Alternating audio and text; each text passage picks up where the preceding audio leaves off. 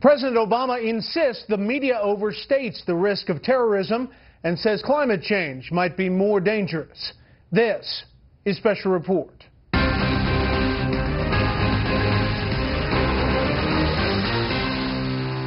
Good evening. Welcome to Washington. I'm Bret Baier. While Jordan bombs ISIS in Syria, Iraq begs for more help for fighting ISIS there, and Boko Haram fighters capture more than 30 people in northern Cameroon. President Obama says the media is exaggerating the threat of terrorism. It comes on a day when another possible threat to global stability, Ukraine, is front and center. We have Fox team coverage tonight. Jennifer Griffin's at the Pentagon with an update on the ever slimmer prospects of avoiding all-out war in the former Soviet Republic. But we begin with the chief White House correspondent, Ed Henry, and some interesting comments from the president about terrorism. Good evening, Ed. Indeed. Good evening, Bret. The president dismissed terror threats as largely being media hype, saying if it bleeds, it leads. But his former military intelligence chief says radical Islam is expanding and the president's strategy is off. At a news conference with German Chancellor Angela Merkel dominated by threats around the world, President Obama barely mentioned Islamic State terrorists. With regard to ISIL, Germany and the United States remain united in our determination to destroy this barbaric organization. And when it comes to confronting ISIS, the president is downplaying the threat, declaring in a Vox.com interview the media is overhyping terror and climate change could be a bigger long-term problem. It's all about ratings. And the, the problems of terrorism and dysfunction and, and chaos, uh, along with plane crashes and uh, a few other things, that's, that's the equivalent when it comes to covering international affairs. And climate change is one that is happening at such a broad scale and such a complex system that it's a hard story for uh, I think, the media to tell on a day-to-day basis. That comes after Friday's speech by his national security advisor, Susan Rice, claiming the U.S. cannot give in to alarmism. And the president said at the National Prayer Breakfast, Christians also committed terrible deeds hundreds of years ago. That's not the kind of leadership we need to destroy this cancer in the Middle East that's growing rapidly. This comes as the former chief of the Defense Intelligence Agency is intensifying his criticism of the president's ISIS strategy. And I think that there's confusion about what it is that we're facing. It's not just what has been defined as 40,000 fighters in the Islamic State in uh, Iraq and Syria. It's, it's also a large segment within this radical version of Islam that is actually, uh, you know, at, is threatening our way of life. As ISIS put out another propaganda video showing British hostage John Cantlie declaring the terror group's gains are breathtaking, in the Vox.com interview, the president compared his role to a mayor who's fighting ordinary crime. It is right and appropriate for us to be vigilant and aggressive in trying to deal with that. The same way that a big city mayor's got to cut the crime rate down uh, if he wants that city to thrive. Now, the president went on to talk about vicious zealots who he says randomly shot up a deli in Paris last month. Of course, he left out that it was a kosher deli that was specifically targeted. Bret? Ed, you know, President Obama was asked about House Speaker John Boehner's invitation to Israeli Prime Minister Benjamin Netanyahu to address Congress. It, that complicates basically an already rocky relationship between the two countries at odds over the best course going forward with Iran. Here's what the president said today. I don't want to be coy. The Prime Minister and I have a very real difference around Iran, uh, Iran sanctions. From the perspective of U.S. interests, and I believe from the perspective of Israel's interests, although I can't speak for, uh, obviously, uh, the Israeli government, it is far better if we can get a diplomatic solution. So there, there are real differences substantively, but that's separate and apart from uh, the whole issue of uh, uh, Mr. Netanyahu coming to Washington. Well, what are you hearing about this address? Well, the real difference he's talking about is about Iran's nuclear program. The president wants to keep talking. Netanyahu, a lot of Republicans, and some Democrats, like Bob Menendez, by the way, want more sanctions against Iran. And a key moment at that news conference today was the president, when I was sitting there, he said, what's the rush uh, in terms of sanctions? Well, Netanyahu had his own news conference today, and he said the rush is he's worried about a bad deal with Iran in which they might be able to keep their nuclear program. Now, the prime minister is vowing he'll go ahead with this speech anyway, while here in the in the states, we heard from the first senator saying he'll skip it. Socialist Bernie Sanders says he'll boycott. We expect other Democrats might join him, Bret. Ed Henry live on the North Lawn. Ed, thank you. The U.S. and its European allies are trying to present a united front against Russian leader Vladimir Putin and his involvement in Ukraine. National security correspondent Jennifer Griffin on whether giving peace a chance has a chance of working.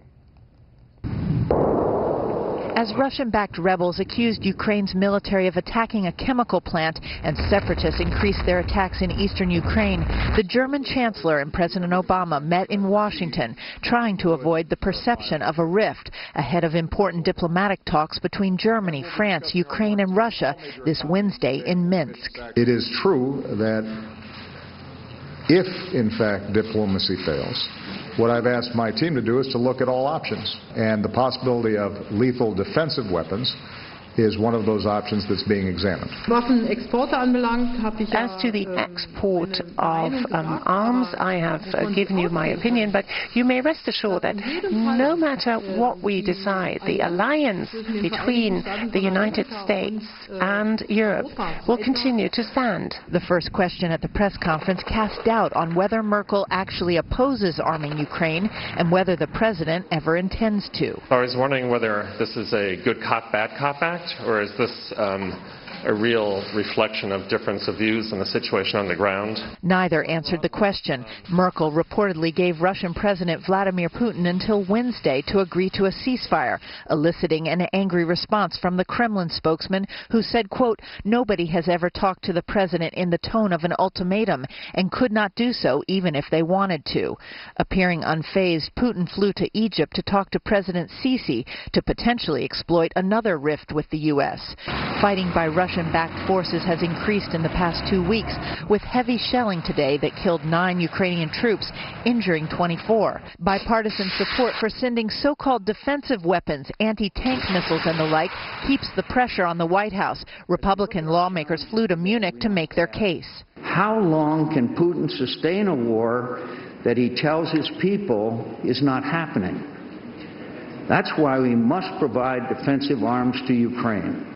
As the French and German leaders prepared to meet Vladimir Putin Wednesday to try to hammer out a ceasefire, the State Department pushed back on any notion that the U.S. was left out of the Wednesday talks with Putin and any notion that Secretary Kerry reportedly told visiting U.S. lawmakers in Munich that he supports arming Ukraine. In private conversations, the Secretary has stressed the lethal aid would be defensive in nature. Bret.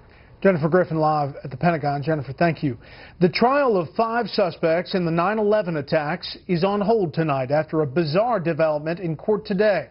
Chief Intelligence Correspondent Catherine Herridge has the story from the still very populated Guantanamo Bay Naval Base. Six years into President Obama's promise to close the Guantanamo Bay detention camps, 122 detainees remain. But two miles from the camps at the maximum security court, custom built for the 9-11 trial, the military commission's chief prosecutor told Fox they expect to be working on the case after Mr. Obama leaves office. I think I'll be gainfully employed through November of 2017. In what may be another disappointing setback, further derailing the case at the high security court or a baseless accusation, two 9-11 conspirators alleged today that their translator can't be trusted. One of them telling the court, quote, he was working at the black site with the CIA and we know him from there. The 9-11 defense attorneys claim there is a troubling pattern. All of those things which have dragged out the process have all been government attempts to maintain greater secrecy around the proceedings. After the controversial swap of the Taliban five where they received a hero's welcome in Qatar, the administration is not ruling out future deals. We don't make predictions, uh, and hopefully we're not going to be in a circumstance where we uh, have another uh, individual who was serving our country who we have to bring home. While few analysts expected the administration to swap the Taliban commanders for Sergeant Bowe Bergdahl, there are a handful of high-value detainees like Hambali who are still not in the military court system. The 50-year-old is known as the Osama bin Laden of Southeast Asia after his alleged role in a series of bombings after 9-11, including this nightclub. And there's Abu Zubaydah, long described as an al-Qaeda operations chief, who has not been arraigned either. A member of the House Intelligence Intelligence Committee believes the White House is so ideologically committed to closing the camps, anything is possible. I'm very concerned that someday America will wake up uh, and see that we have emptied that facility out. It would be enormously risky for, for all of us. Even though 54 detainees have been cleared for transfer, the Pentagon's point man for Gitmo policy recently testified to Congress that everyone left in the camps at one time or another had ties to al-Qaeda or the Taliban, Bret. Catherine Herridge, live Guantanamo Bay, Cuba. Catherine, thank you. Up next, how labor problems out west might affect you and your family. First, here's what some of our Fox affiliates around the country are covering tonight. Fox 32 in Chicago as convicted wife killer Drew Peterson faces new charges of trying to hire a hitman to kill a suburban prosecutor. Peterson is serving a 38-year-old 38-year sentence for killing his third wife.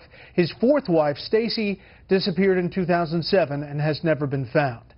Fox 5 in Las Vegas with a reunion nearly 70 years in the making. Joe Roger, Rogers and Bob West fought side by side through three years and four battles in World War II. This weekend, they were back together for the first time since 1946. Their children arranged that meeting as a birthday present.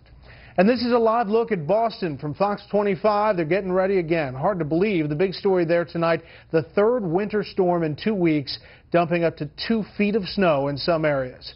Boston has set a record for the most snow in a 30-day period, almost 62 inches.